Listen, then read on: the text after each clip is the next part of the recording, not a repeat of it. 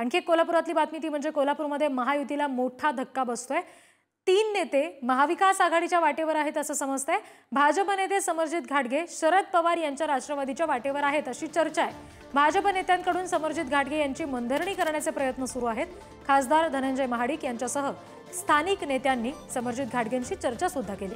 भाजपचे जिल्हाध्यक्ष राहुल देसाई यांचा सुद्धा राजीनामा समोर आलेला आहे. तर अजित पवारांच्या राष्ट्रवादीचे प्रदेश उपाध्यक्ष ए वाय पाटील यांनी देखील आपल्या पदाचा राजीनामा दिलाय.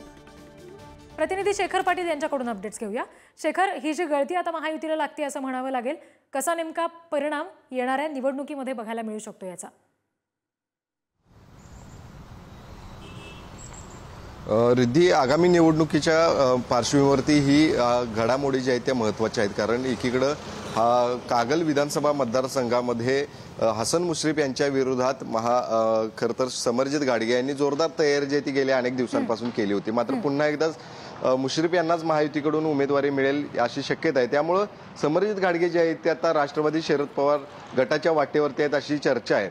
तर दुसरीकडे राधानगरीमधले दोन महत्त्वाचे नेते जे आहेत ते देखील आता महाविकास आघाडीच्या वाटेवरती पाहायला मिळते ज्यामध्ये सर्वात महत्वाचं नाव आहे ते ए वाय पाटील यांचं जे अजित पवार यांच्या राष्ट्रवादीमध्ये उपाध्यक्ष म्हणून पा- काम जे आहे ते त्या ठिकाणी करत आलेले आहेत. अनेक वर्षांपासून अजित पवार यांच्या सोबत ते आहेत.